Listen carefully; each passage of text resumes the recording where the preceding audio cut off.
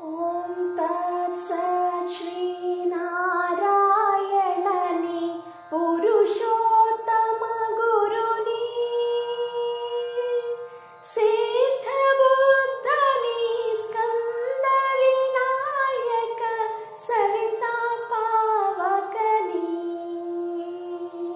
नायक